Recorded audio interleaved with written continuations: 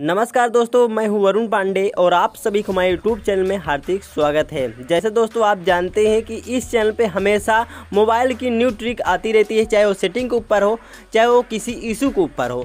तो आज दोस्तों, मैं आपके लिए बहुत ही ज़बरदस्त वीडियो लेकर आया हूँ वीवो वी ट्वेंटी में, कैसे आप फोर जी सेट कर सकते हैं। जैसे काफ़ी लोगों को बहुत ज़्यादा दिक्कत हो रही है वीवो वी ट्वेंटी में फोर जी सेट करने में और फोर जी नेटवर्क नहीं सेट हो पा रहा है, जिससे उनका नेट स्लो चल रहा है।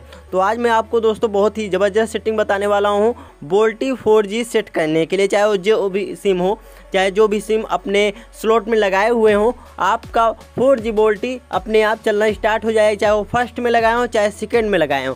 तो चलिए दोस्तों, इसके लिए बिना समय गवाए आपको बताता हूँ कैसे आप फोर सेट कर सकते हैं। उसके पहले दोस्तों, आप चैनल पर नए आए हुए, चैनल को सब्सक्राइब न किए हों तो प्लीज़ चैनल को सब्सक्राइब करके बेल आइकन को प्रेस कर दें।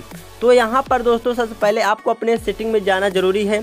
सेटिंग में जाने के बाद दोस्तों, आपको बताता हूँ क्या क्या आपको यहाँ पर करना होगा। सेटिंग में जाने के बाद दोस्तों, आपको ऐसा इंटरफेस देखने को मिल जाता है। फ़ोन क्लोन और सिट नाइट लाइट शेड्यूल यहाँ पर आपको ऐसे इंटरफेस देखने को मिल जाते हैं। उसके बाद दोस्तों, तीसरे नंबर पर नेटवर्क एंड इंटरनेट का ऑप्शन मिल जाता है, जो कि दोस्तों वहाँ पर आपको क्लिक कर देना है। जैसे आप क्लिक करते हैं दोस्तों, आपको ऐसा इंटरफेस देखने को मिल जाता है, जहाँ पर wifi sim card and mobile network का भी ऑप्शन मिल जाता है। Sim card and mobile network के ऑप्शन पर आपको क्लिक करना है। उसके बाद दोस्तों, यहाँ पर आपका सिम कार्ड का ऑप्शन खुल जाएगा, जहाँ पर मोबाइल डाटा और यहाँ पर आपको सिम स्लॉट भी दिखाया जाता है। मोबाइल डाटा को ऑन कर लेते हैं। हमारा फोर जी वोल्टी सेट हुआ है। तो मैं आपको ही दिखाऊँगा कैसे आप फोर जी वोल्टी सेट कर सकते हैं। मैं जो भी नंबर पे सिम लगाया हूँ, उस पर आपको क्लिक करना होगा। जैसे दोस्तों, अगर आप जियो सिम लगाए हो फ़र्स्ट में तो आप जियो सिम का अगर सेट करना चाहते हैं तो फ़र्स्ट पर आपको क्लिक करना होगा। लेकिन हम दोस्तों, अपने सिम को दूसरे नंबर स्लॉट में रखे हुए हैं तो इसलिए हम दूसरे नंबर के स्लॉट पर क्लिक करते हैं।